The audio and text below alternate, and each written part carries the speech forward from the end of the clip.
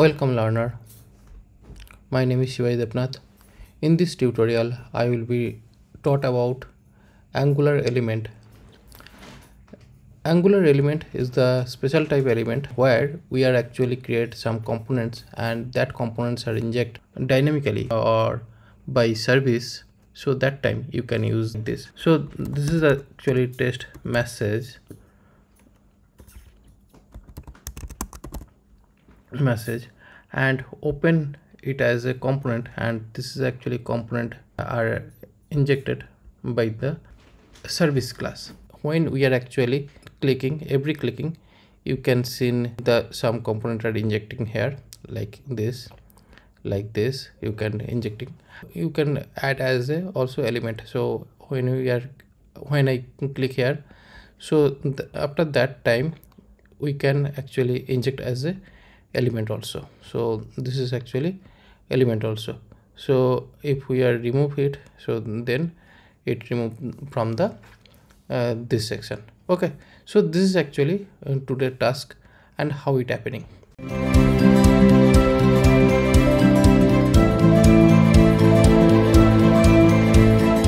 This is the actually angular official site and this is the overview of angular elements. And when you want to uh, create this thing. So first time we need to be create a, a blank project for this. Okay? I will be fast forward in this video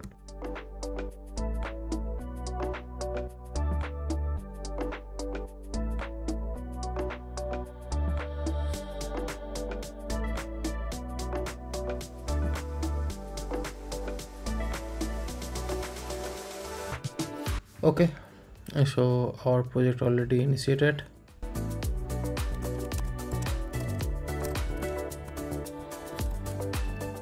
Okay so this is our basic uh, page uh, which actually want to see. And after that we can use some input element here. So input element is text and also we can add name as a input. And here we can use placeholder enter a message okay. And after that we can use button and we can use open as your mponent component and button also uses open as a element. Okay. But this time we will be um, blank for this section right now. So actually this time i just comment out right for escaping the error. Now we can create a component. So here we can create a custom component which called pop-up component. So one more thing. Actually when we are actually custom element so that time we need to be add some input some dependency package which is actually give us browser supports are required for our custom elements. So for that purpose you can add this dependency package in your application. So now i just add this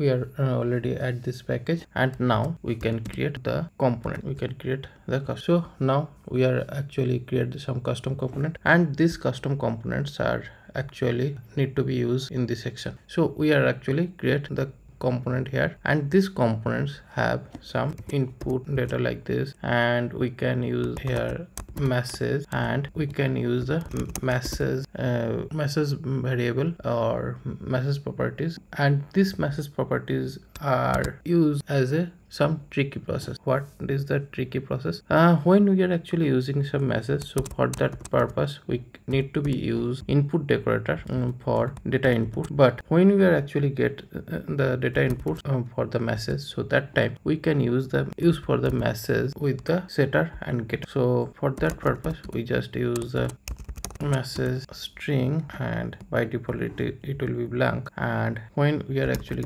getting the message so that time we can return it through this. If we are uh, not use like this if we are use it directly above this property so that time when we are actually put some data uh, through the service class so that time we don't take any data through this process. So for that purpose we could not be used actually if we are used like this so that time if we are uh, inject some data through the service class so that time this process could not be working properly. So for that purpose we can we need to be use this process where we can use the getter and setter method like this.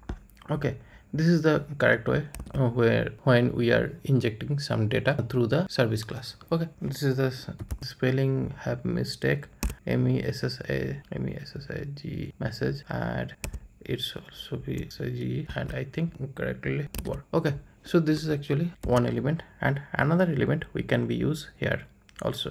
Like we can use the button element and also we can use button element and when we are actually create some click functions so that time our component will be closed or our custom component will be removed from the element uh, from the document. So this time we need to be use some output decorator need to be used for it and also we can use closed element. And here we can use new event uh, emitter uh, which is the actually event property uh, are used for here. And here we could not be use anything to be returned. So for that purpose we can use the data type as a void. So we could not use any output data for the for this event uh, event property. So now we just use the closed. And this is the actually observable object uh, because the uh, when we are actually set up it so after that we get some observable options because here actually emitting some rx subject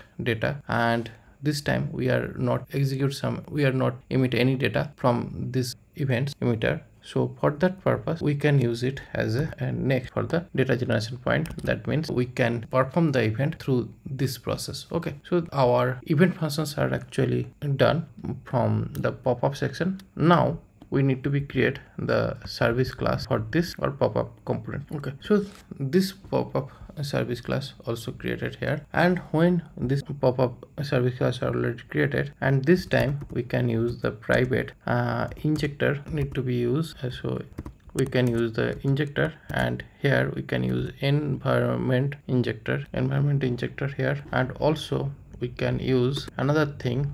We can also use another thing application ref application ref or application reference for application binding.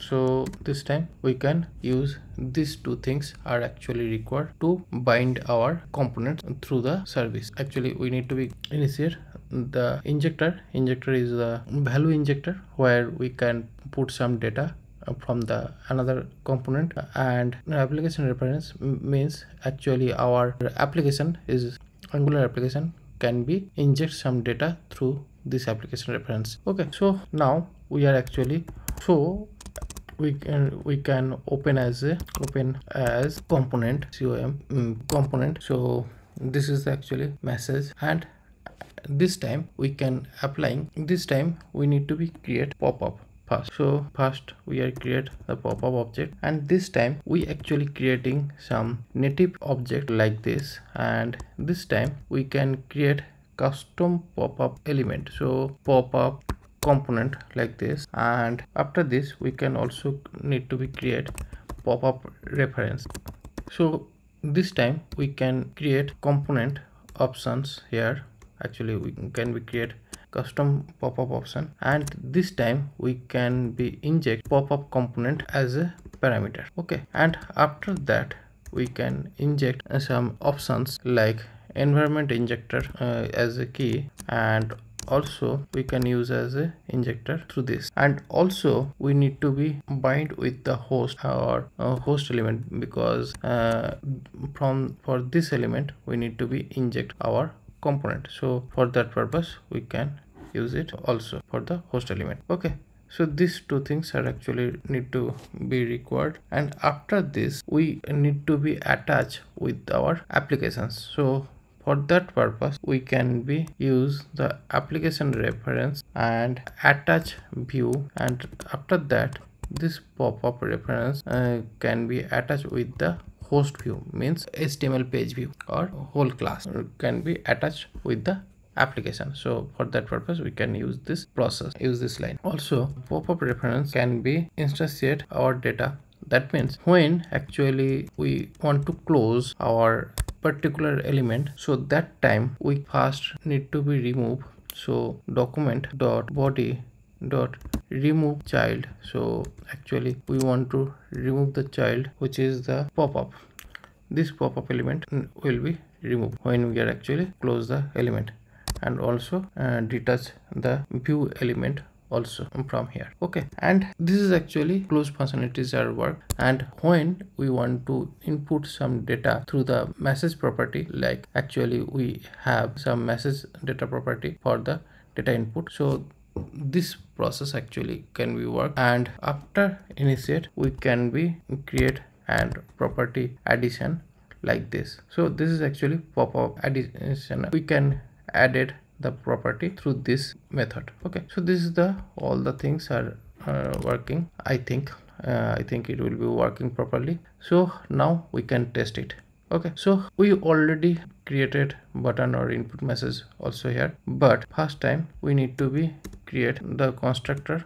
And here we can create injector inject and we can use injector. And also we can create public and pop-up service because uh, we actually create pop-up service instance here. So pop-up service we can be added as a injector. From this injector we can be create our component through this component so now we can create the pop-up component or pop-up element create custom element and now here we can use the pop-up element our custom pop-up element through like this. And through this element we can use the custom element as defined and we can use the element name pop-up component or pop-up element. We just input as a element pop-up element and we can input the data. So first thing we are actually use the name as a string and after that we can use the custom element reference as a constructor.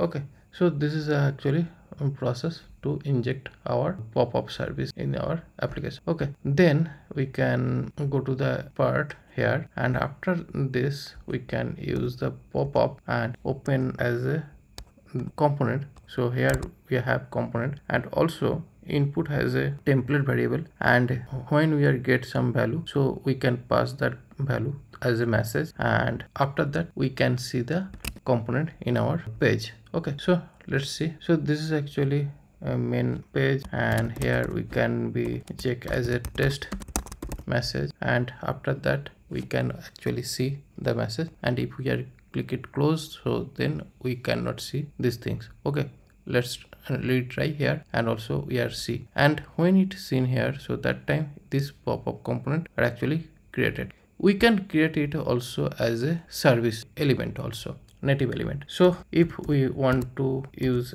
as a native element so mm, for that time we can use pop-up element and this pop-up element can be instantiate ng element and also with not double and uh, so here we can use with properties and here we can use the application type. That means pop-up component type we can be injected here. And when we are actually injected here so that time we can use it as a any. Okay so this uh, element are actually instantiated like this. Okay and after creating this this pop-up element we can put the message through this and also we can append this through this message. And also if you want to pop-up element on uh, if when actually want to close this pop-up element so that time we can be used like this. And for this time we can use remove child and we can remove it through this. But when we would click the pop-up element that means things actually first need to be added in a, into the component section so this part need to be uncommented and after that we can use it as a pop-up and open as a element and after that we can use it like this. And after this thing we can use test message and we can also see it here and our pop-up element also here. And now if we are clicking here and this all the elements are gone but we did not want like this. Actually we, when we actually hit on this button so that time it will be gone. So for that purpose we just need very little implement. So here actually got some event not click. We are actually using the event name is closed. So this closed actually event name and this event name actually are working as a observer uh, event observer. So uh, when event are performed that time this element are removed. Okay so now i'll check once again. So test and this is the actually here and now i am hitting here but we could not see anything. So when we are actually clicking the close button so that time gone the element. Okay and this time open as a component and this is actually component are opening and now component is gone. Element is coming and element is gone. But if you want to embed this component or element into app root section. So that time you can implement something uh, something little bit here just like this. You just use the query selector. This is the actually javascript process. And you can use like this also. And this time you got some error message so you don't puzzle with this. Just using this. And this will be added into app root section. Okay. So how it work? Let's see. Test. So before that it actually adding end of the body element. But now if we are actually create as a component so then it is actually injected into our uh, root directory. So after this these components are actually injected here. Okay? So this is our tutorial and i hope you are enjoyed this tutorial. And if you are enjoyed this tutorial hit the like button and share with your friend to grow my channel and grow our community because your one click is very motivated for me. And also if you are new in my youtube channel so definitely subscribe my youtube channel and hit the notification bell icon for the notification uh, when i publish any new videos in my youtube channel. Okay and also we'll be next with you. Next software development learning videos